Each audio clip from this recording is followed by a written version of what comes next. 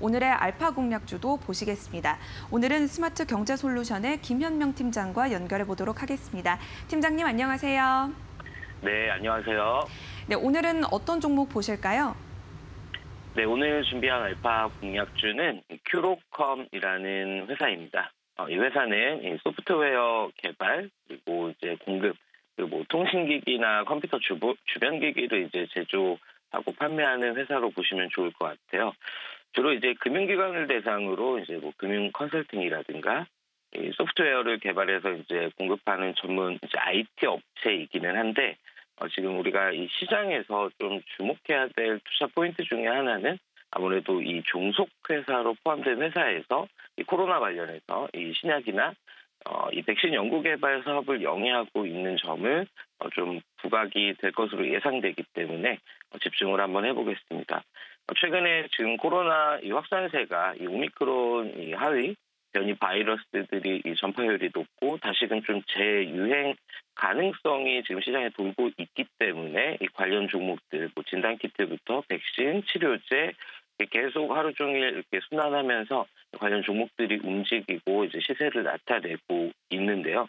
그 가운데 이제 이 회사가 이 자회사 특히 이 스마젠 그리고 이제 인퍼렉스 등이 조금 주목을 해볼 만하고 이런 코로나 관련해서 재부각을 받을 가능성이 있다. 이렇게 보시면 좋을 것 같습니다. 우선 이제 스마젠과 이 인퍼렉스를 통해서 원래 이제 기존의 스마젠은 좀 에이즈 백신이라든가 이 코로나 백신 그리고 이제 기타 감염성 질환을 이렇게 질환에 대한 백신들을 굉장히 이제 오래 전부터 어, 연구 개발을 해오고 있고 그리고 이 인퍼렉스 같은 경우는 이 슈퍼 박테리아로 좀 알려진 이 황색 포도상구균에 대한 이 연구 개발 어, 영위를 하고 있는 회사인데요. 음, 최근에 이제 스마젠을 통해서 이 코로나 관련 백신 어, 특히 이제 지난 어, 지난 7월이죠.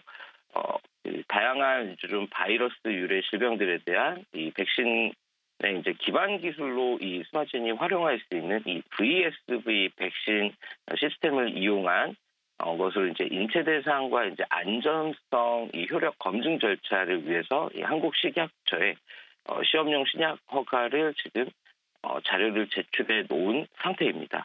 7월 5일이었던 것으로 이제 보시면 좋을 것 같고 그리고 이제 어제 이렇게 또 움직임을 보여줬던 이유가 그 미국에서 이 코로나 이 초창기에 확산을 하는 이 첫해 항생제를 좀 과도하게 이렇게 사용했던 결과 이 항생제를 사용해도 치료되지 않는 좀 슈퍼 박테리아 감염이 이제 증가하면서 이게 항생제를 많이 사용하면 할수록 이 박테리아가 이제 좀 적응하는데 어, 이와 관련해서 이제 큐로컴이 이제 미국의 특허를 받아놨던 요 치료제, 어, 요 기술이 다시 한번 시장에서 좀 재부각을 받을 것으로 보고 있습니다.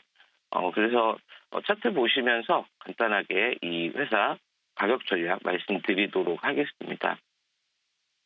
어, 최근에 이제 5월 달에 한번 길게 이렇게 거래량이 이제 들어오고 사실 이제 좀 죽어 있다가 어, 최근에 이제 다시 이제 추세를 전환하면서 이제 우상향을 해 나가는 이제 차트의 모습이고 어제 좀 더 이제 거래량이 들어와 주긴 했는데 오늘은 이제 이 음봉에 한 1,150원 부근을 기준으로 잡고 다시 저 윗꼬리를 채워가는 것을 목표로 어, 삼으시면 좋을 것 같습니다. 매수가는 이제 현재가부터 1,150원까지, 손절가는 1,050원.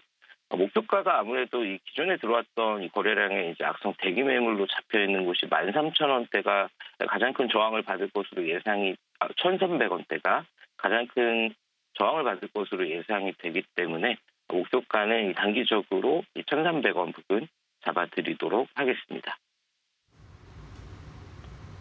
네, 오늘의 알파 공략주로는 큐로컴에 대한 전략과 분석 들어봤습니다. 오늘 분석 고맙습니다. 네, 감사합니다.